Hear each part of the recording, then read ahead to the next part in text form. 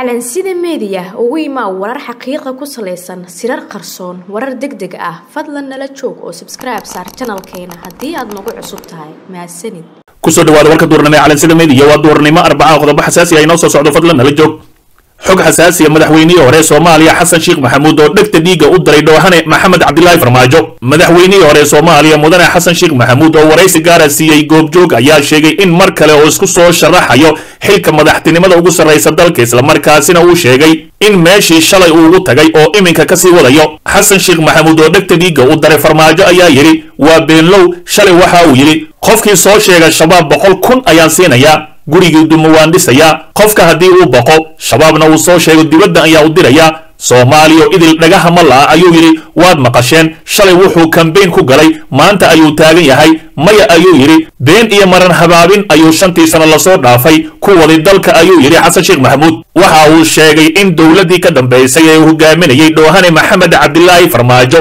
ay ka gaabisay waxyaabo badan oo u baahan in hore loo sii waday. Marka arkay meeshii aan ka tagay iyo sida ay tahay waa qabaa in mar kale aan dadka soomaaliyeed aan weydiisto in aan qabto waxa ii muuqda. Shalay waxbaa qabtay meel ayaan dowladnimada soo gaarsiiyey. Meeshii in laga sii wado oo meel kale la gaarsiiyo ayaa rabnaa. Waxaana aaminsanahay in meeshii aan la gaarsiinin dalka ayuu yidhi. Qori iyo xoog ma wato dadka soomaaliyeed ayay u taallaa aniga oo madaxweyne ah ayaa laguma dooran laygu yidhi. Ayaa xilkii si nadiif ay ku wareejiyey. Marka aniga oo madaxweyne ahayn haddii la yidhaahdo laguma dooran inta ayaan ka baxayaa intaan dhaho waa mahadsantihiin ayuu yidhi. Dhinacaas ayaana ka baxayaa haddii lay dooran waayo mar kale. Madaxweynihii hore soomaaliya xasan sheekh maxamuud ayaa dowladdii ka dambaysay ku dhaliilay inaysan dowladnimada ka sii anba qaadin halkii uu uga tagay ayna ku mashquuleen dana gaar ahay iyo xifaaltan siyaasadeed. Waxa u sheegaynaa in doorashada madaxtinimada ee la filayo inay qabsoonto ay halbeeg u noqon doonto midii hore ee uu qabtay taasi oo laga guulaystay uuna ku soo baxay maxamed cabdilaahi farmaajo. Ugu dambayntii waxa uu bulshada soomaaliyeed ka dalbaday inay ku kadsoomin maran habaabinta ay xulufada farmaajo ka wadaan baraha bulshada midaasi oo ay ku bixiso dhaqaale aad u xoogan. Si kastaba ha ahaatee xasan sheekh maxamuud ayaa iminka diyaar u ah inuu ka guulaysto dhoohane farmaajo.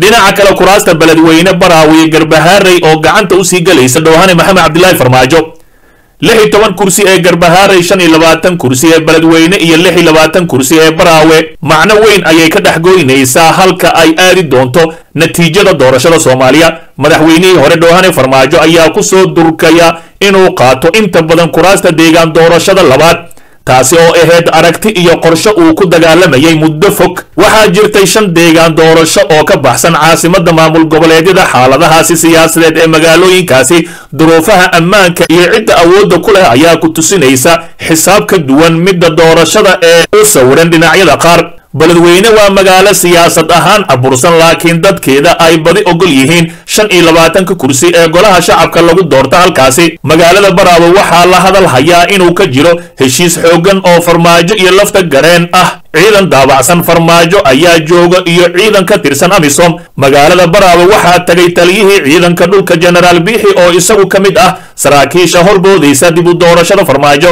Waxaana la filayaa in ciidan dheeri ahi halkaasi la geeyo kuwaasi oo aan u baahnayn in diyaarad lagu qaado. Kuraasta taalla baraawe xubnihii horay ugu fadhiyey. Inta badan waxay ahaayeen kuwa farmaajo daabacsan laakiin waxaa jira liis cusub oo dad badan ka takhallusaya sida ay noo xaqiijiyeen ilo muhiim ahi garbahaarey lix iyo toban kursi ayaa taalo. Muddooyin badan ayay u xihan tahay farmaajo wuxuuna ka bixiyey gacanta jubbaland. Hoggaanka uu farmaajo u dhisay maamulka gobolka gedo waxaa dhowaan la keenay magaalada muqdisho si loo cabsiiyo farsamada shaqada iyo sida la rabo inay doorashada u dhacdo. Halkaasi waxaa ka jiro caqabad ka duwan baraawe iyo beledweyne waana inuu guddiga doorashada haysto axmed madoobe kuwaasi oo laga rabo shaacinta liiska qabashada doorashada iyo xaqiijinta guulaystayaasha waa adag tahay in kuraastaani laga soo celiyo magaalada garbahaarey sidoo kalene waa adag tahay in farmaajo looga adkaado haddii ay kuraasta halkaasi sii yaalaan.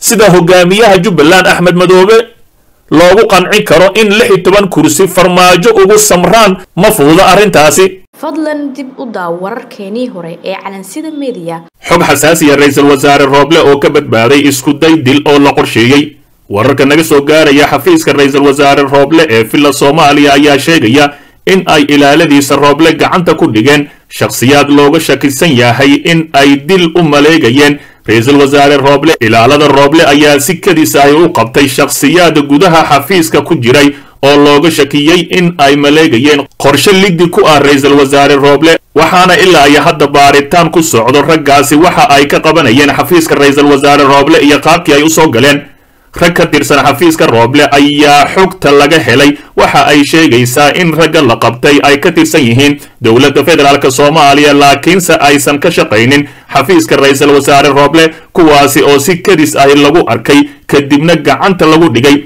Raggaani oo ay ka mid yihiin rag saraakiil sarsare ah. Ragga la qabtay oo la garanayay in ay gacansaar xooggan la leeyihiin dilaaga qosla fahad yaasiin xaaji daahir oo ahaan jiray agaasimihii ku-meelgaarka ahaa ee hay'adda nisa iyo dhoohane maxamed cabdilaahi farmaajo raggaani ayaa si kadis ahi lagu arkay meelaha aanan loo ogolayn qof aanan ahayn ilaalada khaaska ah ee ra'iisul wasaare maxamed xuseen rooble si degdeg ah ayaana gacanta loogu dhigay.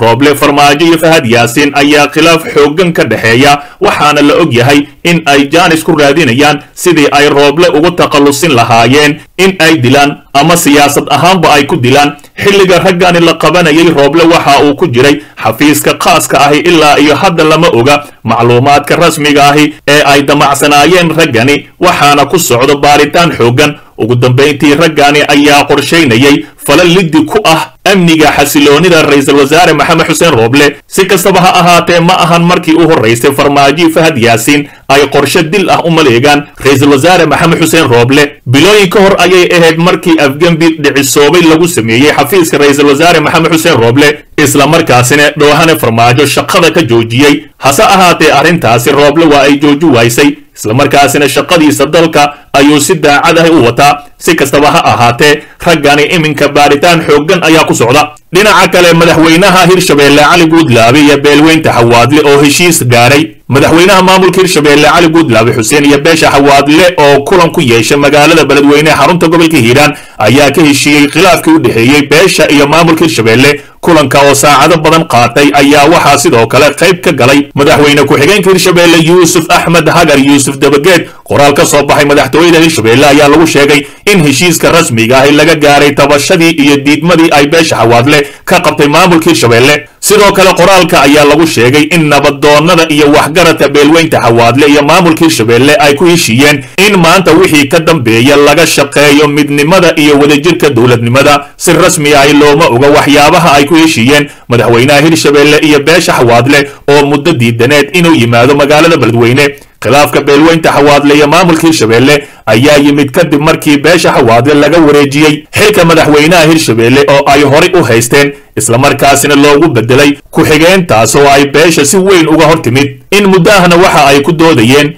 in madaxweynaha haddii jowhar la geeyey waa qasab caasimadda iyo saraakiisha sarsare in la keeno maamulka hiiraan islamarkaasina sidaasi ay ku noqota mid la wada leeyahay. Si kastaba ha ahaatee lama oga waxa ka soo yeeri doono ciidamada gadoodsan ee jooga duleedka magaalada beledweyne oo uu horkacayo jenaraal xuudkii loo afduubtay magaalada xamar islamarkaasina ilaa iminka aanan ka hadlin imaashaha cali guudlaabe. Sidoo kale taliya nuur dheere oo hogaamiye ka ah ciidanka kacdoonka beledweyne ayaa asna ku sugan magaalada beledweyne duleedkeeda. Islamarkaasina waxaa la sheegay inuu shalay wadahadal la galay sargaal la socday guudlaabe islamarkaasina aanan la ogeyn waxa ay ka wada hadleen xaaladda magaalada beledweyne ayaa degan labadaani beri mana la oga in uu cali guudlaabe soo afjari doono tabashada beelweynta xawaadle ee ree hiiraan. Si kastaba ha ahaatee cali guudlaabe waxyaabaha uu kala heshiiyey odayaashaasi lama soo bandhigin. Dhegaystow ogow haddaadan xalka qayb ka noqon waxaad qayb ka tahay dhibaatada dalka